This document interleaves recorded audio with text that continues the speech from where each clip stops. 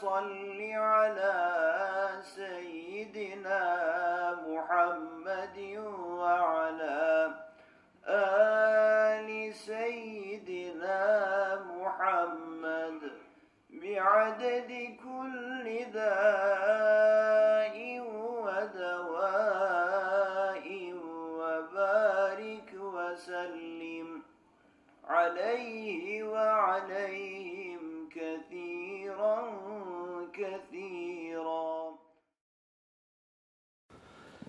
Esselamu Aleyküm ve Rahmetullahi ve Berekatuh.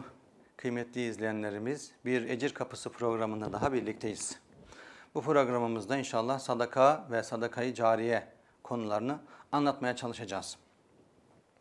Öncelikle şunu belirtelim ki, sahip olduğumuz bütün nimetler Allah Celle Celaluhu'nun bize ikramıdır. Sahip olduğumuz her şey, bizim hayatımız, kendi bedenimiz, malımız, mülkümüz, evlatlarımız, her şeyimiz bize Allah Celle Celaluhu'nun bir ikramıdır. Onun bize verdikleridir. Ve onlar bize Rabbimizin emanetleridir. Bu nimetler aynı zamanda hepimiz için birer imtihan vesilesidir. Bu dünyada imtihan için bulunuyoruz. İmtihan oluyoruz. Bize verilenlerle. Herkes kendi bulunduğu şartlarla imtihan içerisinde Zengin zenginliğiyle imtihan içerisinde, fakir fakirliğiyle imtihan içerisinde, hasta hastalığıyla imtihan içerisinde, sağlıklı sağlıklı olmuş haliyle imtihan içerisinde, gençler gençliğiyle, yaşlılar yaşlılığıyla herkes bulunduğu şartlarla imtihan edilmektedir. Burada imtihan için bulunuyoruz. Tebareke suresindeki ayet-i kerimede Allah'ımız öyle buyuruyor. اَلَّذ۪ي خَلَقَ الْمَوْتَ وَالْحَيَاةَ لِيَبْلُوَكُمْ اَيُّكُمْ اَحْسَنُ عَمَلًا Ellezi o Allahu azimuşşan ki halaga yarattı. El mevte vel hayate ölümü ve hayatı yarattı. Niçin? Liyebluvekum sizi imtihan etmek için. Eyyüküm ahsenu amela hanginiz daha güzel amel edeceksiniz? Hanginiz daha kulluk edeceksiniz diye imtihan etmek için bizi yarattı. İşte dünya hayatında bulunuş gayemiz kulluk imtihanıdır arkadaşlar.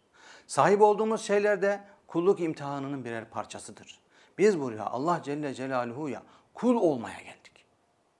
Vazifemiz Allah'a kul olmak ve en güzel kul olmaya gayret etmektir arkadaşlar. Bunun için buradayız. Şimdi sadaka meselesine gelince ayet-i kerimede Allah'ımız Celle Celaluhu öyle buyuruyor Estağfirullah.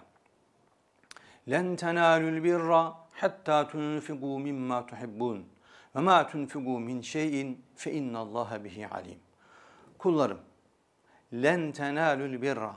Birre hayra, iyiliğe ulaşamazsınız. Hatta tunfiqu mimma tuhibbun. Sevdiklerinizden infak etmedikçe gerçek ve tam manada iyi insan olamazsınız diyor Allah Teala. Sevdiklerinizden.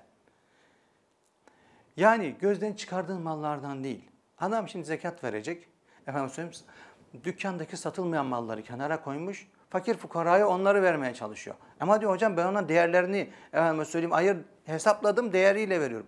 Doğru ama tam adam olmak istiyorsan kıymetli olanından vereceksin. İşte ayet-i kerime. Len tenalul birra hatta tunfigu mimma tuhibbun. Sevdiklerinizden vermedikçe gerçek iyiliğe ulaşamazsınız. وَمَا تُنْفِقُوا مِنْ خَيْرٍ فَاِنَّ اللّٰهَ بِهِ عَلِيمٌ Siz hangi iyiliği yaparsanız yapın, Allah Celle Celaluhu en iyi şekilde bilendir. Yani Allah onu asla zayi etmeyecek bir kere. Öncelikle onu unutmayalım.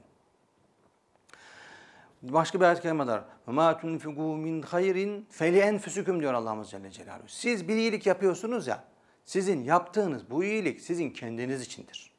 Yani bir başkası için değil.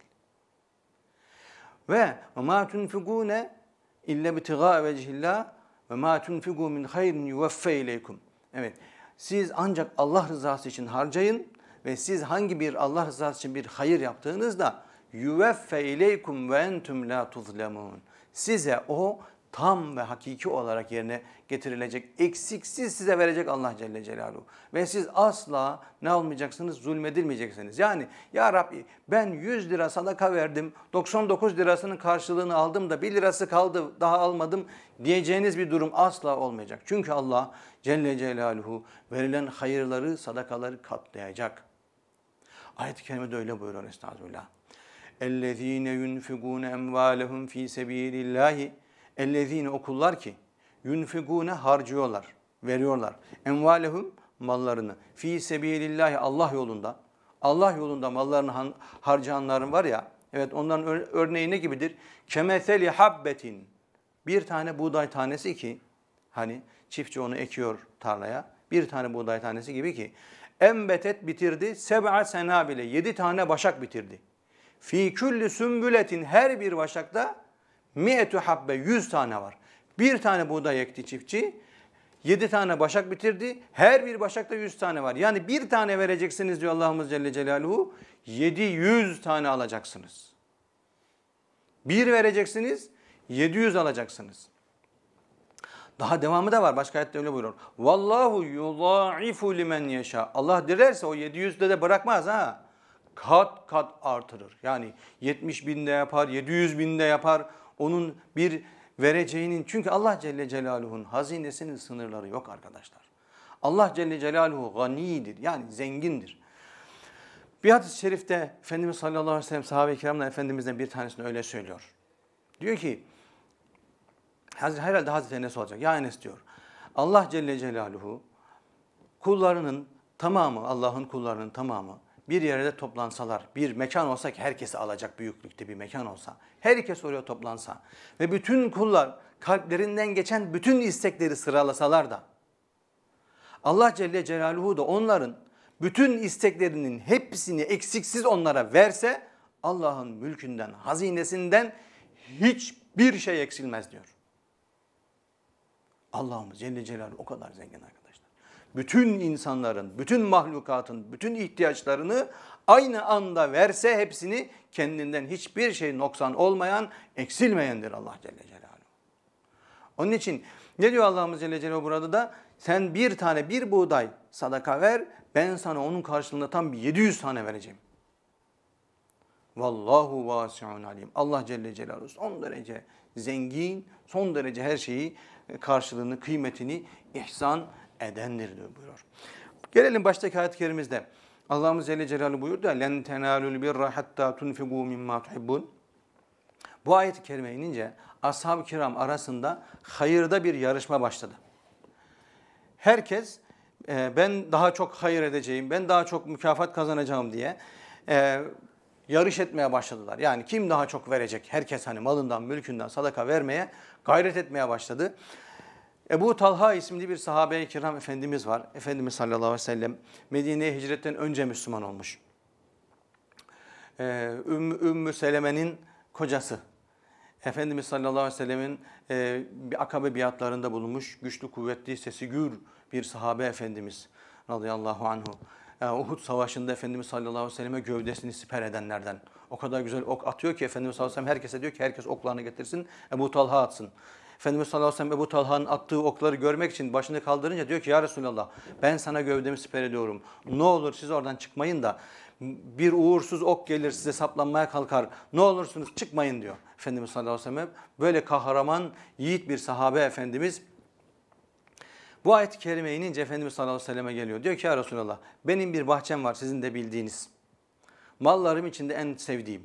Çünkü mescidin tam karşısında bahçenin ismi Beyruha. Bu e, şeye baktım tam 600 tane hurması var içinde. Hurma ağacı var içinde. 600 hurma ağacı var içerisinde.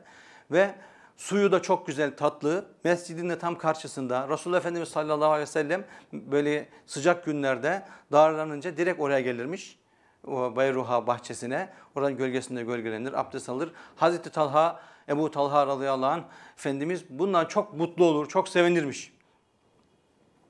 Geliyor bu ayet-i kerime nazil olunca Efendimiz sallallahu aleyhi ve sellem, Ya Resulallah ben e, bildiğiniz gibi benim en sevdiğim malım bu Beyruha bahçesidir. Ben onu Allah yolunda e, sadaka olarak vermek istiyorum diyor. Efendimiz sallallahu aleyhi ve sellem diyor ki ne kadar güzel bir ticaret. Ne kadar büyük bir kar elde ettin. Aferin sana.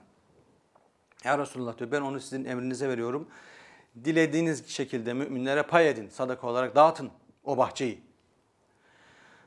O zaman Efendimiz sallallahu aleyhi ve sellem ona onu yakın akrabalarına dağ arasında pay etmesini istiyor. Bakın burada çok mühim bir incelik var arkadaşlar. Bir iyilik yapacağınız zaman, hayır hasenat sadaka yapacağınız zaman ilk önce yakın akrabaya yapmanızı da emretmiş oluyor Efendimiz sallallahu aleyhi ve sellem. Yakın akrabanız sizden istifade etsin.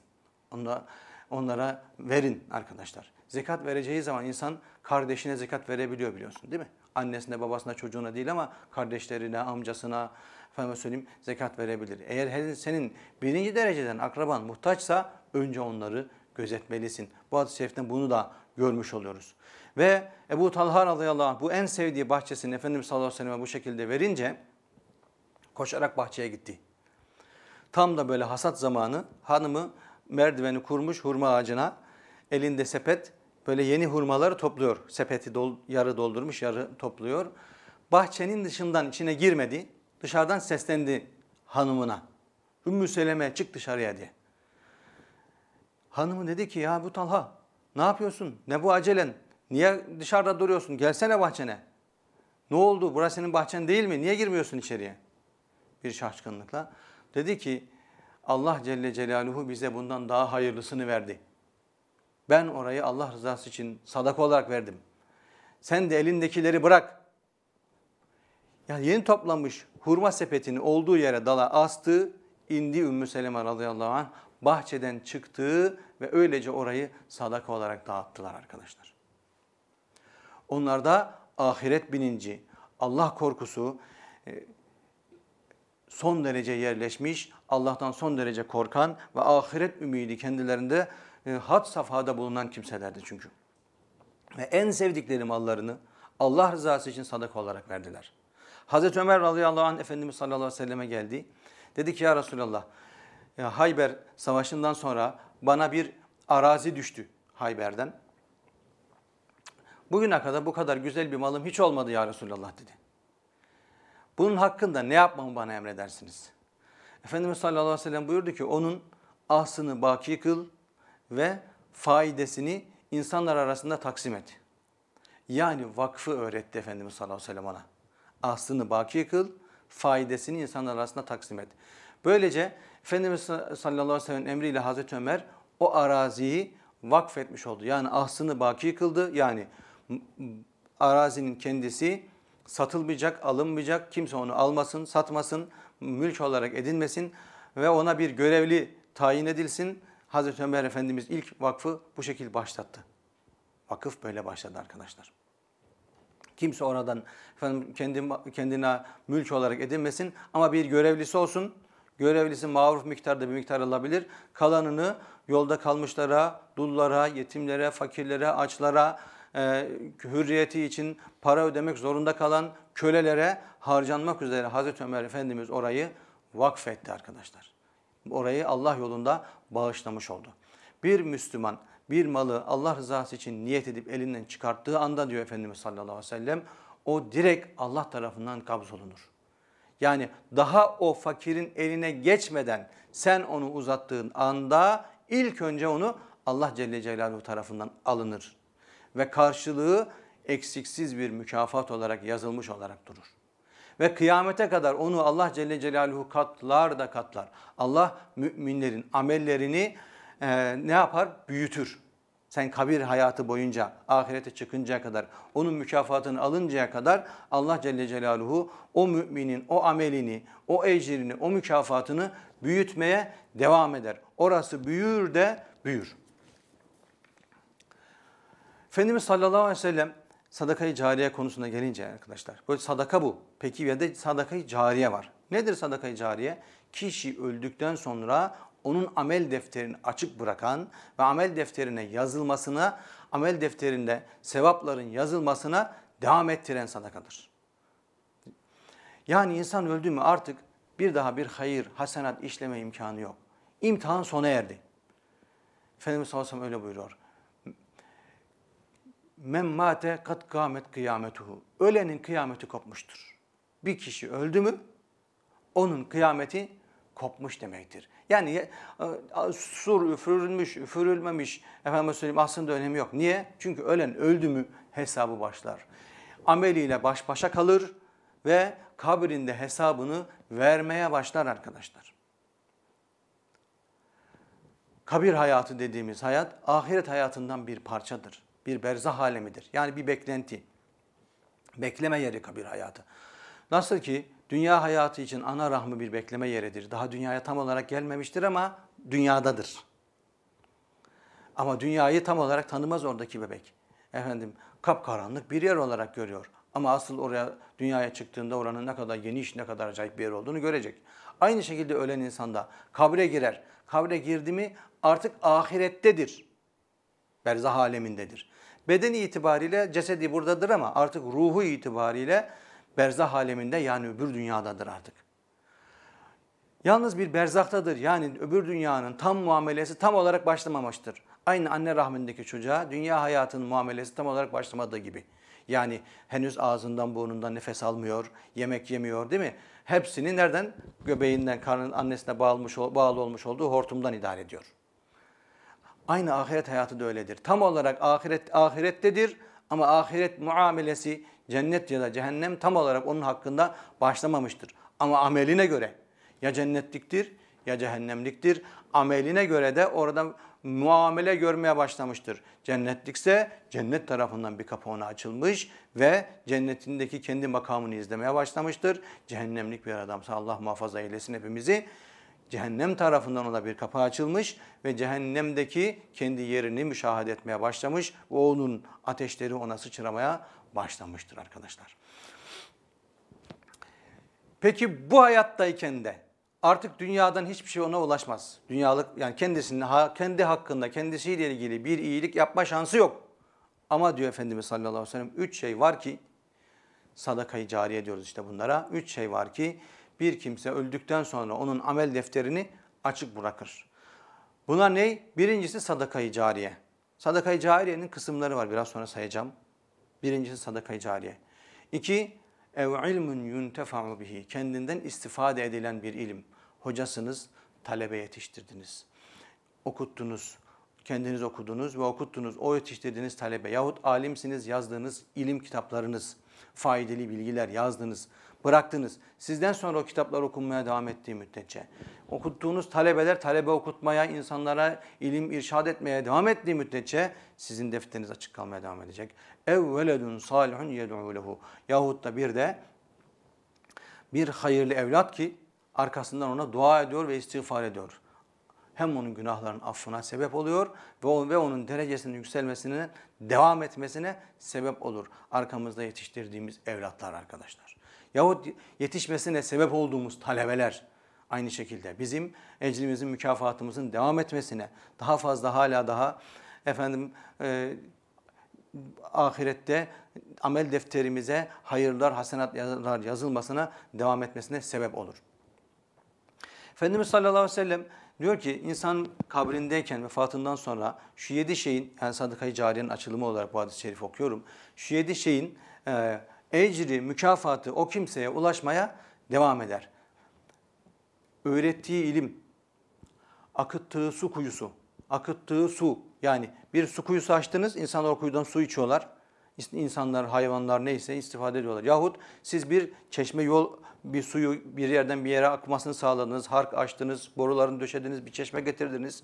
Efendim bu diktiği meyve ağacı, insanlar, cinler, mahlukat, kuşlar onlardan istifade ettiği müddetçe yaptırdığınız bir çeşme insanlar oradan içmeye devam ettiği müddetçe inşa ettiğiniz bir mescit, bir medrese efendim söyleyeyim e, bir külliye değil mi? Hayır hasanat yaptınız. İsmaila Külliyesi bu arada yapılıyor. Sizin desteklerinizle devam ediyoruz. Çok uzun süren bir e, arsa alım süreci oldu.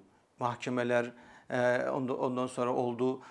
Almamız çok uzun sürdü. Buralar biliyorsunuz Patrikhan'ın ekümenlik bölgesinde. Buralar gayrimüslimlerin elindeydi. Almakta bayağı zorlandık.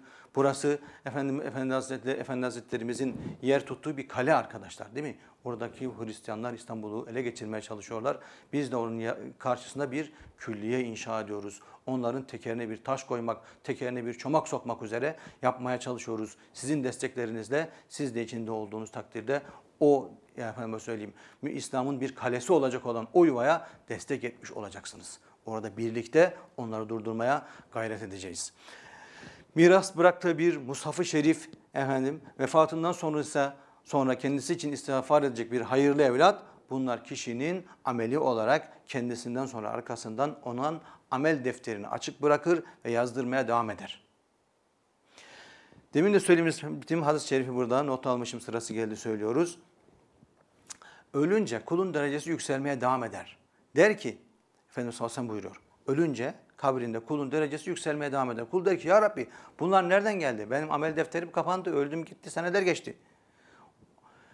O zaman Allah'ımız Celle Celaluhu tarafından ona cevap verilir ki hayırlı ve salih evladın ve bıraktığın sadakayı hayırlı salih evladın senin için istiğfar etti, dua etti, derecen yükseldi. Bıraktığın sadakayı cariye devam ediyor oradan yazmaya ve e, derecen yükselmeye devam ediyor diyor Efendimiz sallallahu diye haber veriyor Efendimiz sallallahu aleyhi ve sellem. Böylece kulun sadakayı cariye sebebiyle öldükten sonra da amel defteri açık kalmaya devam eder arkadaşlar. Salih evlatlar dedik sadakayı cariyedir. Vakıflar sadakayı cariyedir. Evliliğe vesile olmak, bunu da zikretmiş olalım, buraya hazırlamışız madem. Evliliğe vesile olmak da sadakayı cariyedir. Çünkü Muhyiddin İbn Arabi Hazretleri'nin sözüdür bu. Diyor ki en üstün sadakayı cariye hatta evliliğe vesile olmaktır. Zira onların neslinden gelen kimselerin yaptıkları her iyilikten o evliliğe vesile olana bir ecir vardır arkadaşlar. Etrafınızdaki fukarayı, etrafınızda elinizin yettiği kimseleri evlendirmek için gayret edin. Aman bana ne demeyin. Oradan ne gibi hayırlar, bereketler hasıl olacaksa hepsinden sizin istifadeniz olacak. Hem de öldükten sonra da devam edecek arkadaşlar. Şimdi burada nok şeyimizi noktalarken, sohbetimizi bitirirken tekrardan İsmaila Külliye'mize yaptığınız hayır hasenatlarla beraber devam ediyor İslam İsmaila Külliye'miz. Orası bir sadakayı cariye, kıyamete kadar inşallah devam edecek. Orası var olduğu müddetçe, orada talebeler okuyup okutmaya devam ettikleri müddetçe, ona yardım eden herkesin e, amel defteri açık kalacak. Ölüp gitmiş olsa bile, seneler sonra bile orada ilim okunmaya devam ettiği müddetçe oranın hayır hasenatı sizin defterinize yazmaya devam edecek. Allah Celle Celaluhu dünya imtihanını kazanmayı, elimizdeki imkanların kıymetini buradayken, sağlık saatimizdeyken bilip kendimiz için ahiretteki mekanımızı hazırlamayı hepimize nasip müyesser olsun. Allah'a emanet olun.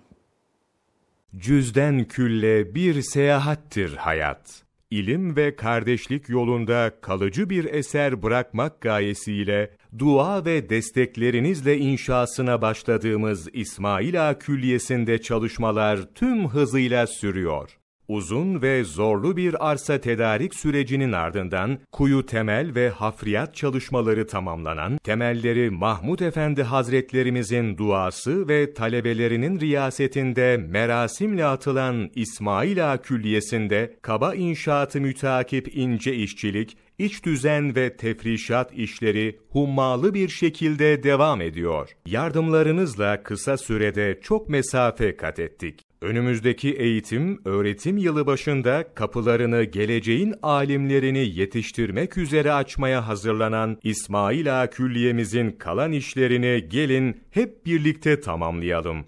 İsmail Ağa Derneği Hayrın Kapısı, Neslin İnşası Allahümme